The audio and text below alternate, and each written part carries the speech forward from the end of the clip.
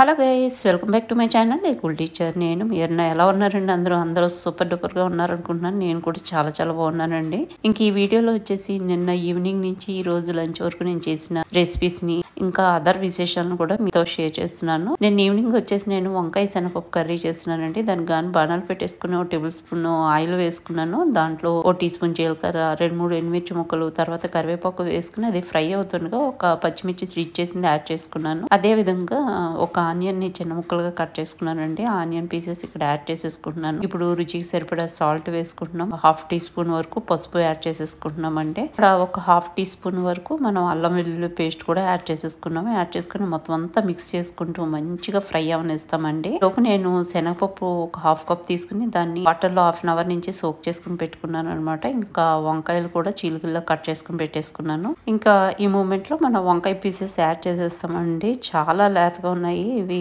మన టెర్రస్ గార్డెన్లో వంకాయలు అనమాట వంకాయలు వేసేసుకున్న తర్వాత దీంట్లో ఒక టీ స్పూన్ వరకు నేను కారం యాడ్ చేసేసుకుంటున్నానండి. అదేవిధంగా ఒక పావు teaspoon garam masala add చేసుకుంటాను. అందుకంటే ఎక్కువ పట్టదనమాట ఇంకా అది కూడా యాడ్ చేసుకున్న తర్వాత నానబెట్టుకున్న శనగపప్పు కూడా ఇక్కడ యాడ్ చేసేసుకుంటున్నామండి. యాడ్ చేసుకుని మొత్తం అంతా మంచిగా మిక్స్ చేసేసుకుంటాము. మిక్స్ చేసుకుని ఉడకడానికి వీలుగా నేను వాటర్ వేసాను. అదేవిధంగా కొంచెం కొత్తిమీర పైనుంచి కూడా వేసేసుకుని ఇక మిక్స్ చేసేసుకుని మనం మూత పెట్టి ఒక ఫైవ్ మినిట్స్ పాటు వదిలేస్తే చక్కగా మగ్గిపోయి ఉంటుంది అనమాట ఇది అయిపోతుంది.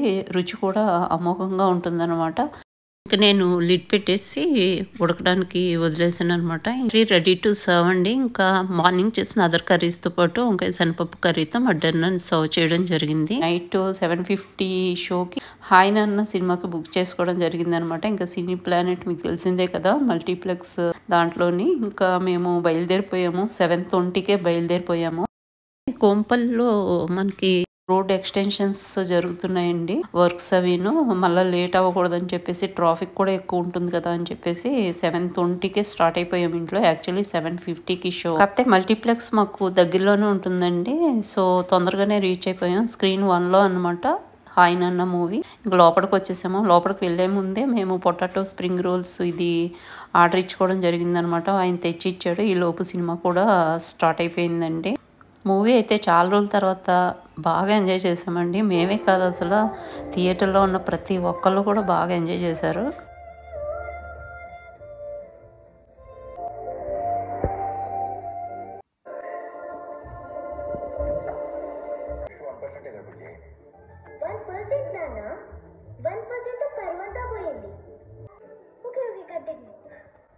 And ఇంకా మూవీ మొత్తం కూడా చాలా చాలా బాగుందండి. ఇంకా బ్రేక్లో మేము sweet corn and frankies order ఇచ్చుకోవడం జరిగింది. మూవీ అయితే అయిపోయిందండి. ఇంక ఇంటికి రీచ్ అయిపోయాం. మూవీ మాత్రం చాలా చాలా బాగుందండి. నాకైతే చాలా నచ్చింది. పాప యాక్షన్ కానీ న్యాచురల్ స్టార్ అనేది మరోసారి ప్రూవ్ చేసుకున్నాడు నాని. రొనాల్డ్ ఠాకూర్ సీన్స్ కానీ అద్భుతంగా ఉన్నాయండి. పాప సీన్స్ అయితే భలే ఉన్నాయి అసలు. అసలు సినిమా అంతా కూడా హోల్సమ్గా చాలా చాలా బాగా అనిపించింది. కంపల్సరీ చూడొచ్చు మూవీ. నైట్ మూవీ అయితే చాలా బాగా ఎంజాయ్ చేసామండి. చాలా బాగా నచ్చింది అందరికీ కూడా. ఇంక ఇది వచ్చేసి ఈరోజు అండి. ఈరోజు morning breakfast as usual complete చేసి డైరెక్ట్గా లంచ్ రెసిపీస్కి వచ్చేసాను నేను. ఈరోజు చికెన్ గ్రేవీ కర్రీ చేస్తున్నానండి. దానికి కానీ బాణాలు పెట్టేసుకుని మూడు టేబుల్ స్పూన్లు ఆయిల్ వేసుకున్న దాంట్లో నాలుగు లవంగాలు నాలుగు ఇలాచి వేసుకుని అది వేగిన తర్వాత ఒక ఐదు పచ్చిమిర్చి సన్నగా కట్ చేసుకుని యాడ్ చేసుకున్నాను అదేవిధంగా ఒక నాలుగు మీడియం సైజ్ ఆనియన్స్ తీసుకుని చిన్న ముక్కలుగా కట్ చేసుకుంది యాడ్ చేసేసుకున్నాను. ఇంకా దీంట్లోనే మనము ఒక టీ స్పూన్ పసుపు యాడ్ చేసేసుకున్నాను. ఇంకా రుచికి సరిపడా సాల్ట్ కూడా ఇక్కడ వేసేసుకుంటున్నానండి. ఇంకా కారం వచ్చేసి రెండు టేబుల్ స్పూన్ నిండా ఇక్కడ యాడ్ చేసుకుంటున్నానండి. ఇక్కడ చికెన్ని మ్యారినేట్ చేయట్లేదు డైరెక్ట్గా వేసేసుకుంటాం శుభ్రం చేసుకున్నాక.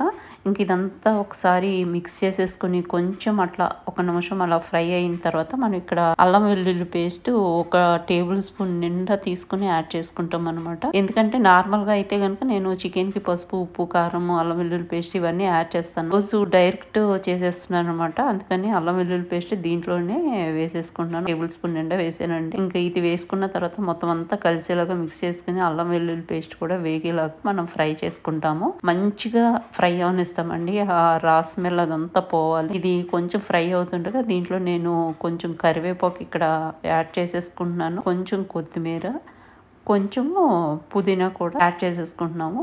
యాడ్ చేసేసుకున్న తర్వాత మొత్తం అంతా చక్కగా మిక్స్ చేసేసుకొని మూత పెట్టి వేగనిస్తాము. మంచిగా వేగాలన్నమాట. ఆల్మోస్ట్ మనకి ఒక sixty to seventy percent onions వేగిపోవాలి oil అలా బయటికి కనిపిస్తూ ఉన్నప్పుడు శుభ్రం చేసుకున్నటువంటి చికెన్ ఇక్కడ యాడ్ చేసేస్తున్నామండి. ఇక్కడ నేను ఒక కేజీ చికెన్ యూజ్ చేస్తున్నాను. మనం మార్కెట్ నుంచి తెచ్చుకున్న తర్వాత చికెన్ని పసుపు ఉప్పు నిమ్మరసం వేసి పట్టించి మొత్తం అంతా మనం చేతితో రబ్ చేసుకుంటూ మూడు నాలుగు సార్లు వాష్ చేసేసుకోవాలి. అప్పుడు మనకు నీసు స్మెల్ ఉండదన్నమాట. చక్కగా ఫ్రెష్గా ఉంటుంది. యాడ్ చేసేసుకున్న తర్వాత మొత్తం అంతా ఒకసారి మిక్స్ చేసేసుకుంటాము. అంతా కలిసేలాగా మిక్స్ చేసేసుకుని మనకి ఇది గ్రేవీ కర్రీ కాబట్టి నేను ఆల్మోస్ట్ ఒక గ్లాసున్నర వాటర్ ఇక్కడ యాడ్ చేసేస్తానండి. వాటర్లో మసాలాల్లో మంచిగా ఉడకాలన్నమాట చికెన్. మనకి almost eighty to ninety percent ఉడికిన తర్వాతనే నెక్స్ట్ ప్రాసెస్ చూస్తామండి. ఇంకా మొత్తం అంతా మిక్స్ చేసేసుకున్నాం కదా ఇక్కడ నేను పైనుంచి జస్ట్ ఒక రెండు మూడు పుదీనాకులు వేసుకుని లిడ్ పెట్టేసి ఫైవ్ టు టెన్ మినిట్స్లో టు మీడియం ఫ్లేమ్లో పెట్టేస్తానండి.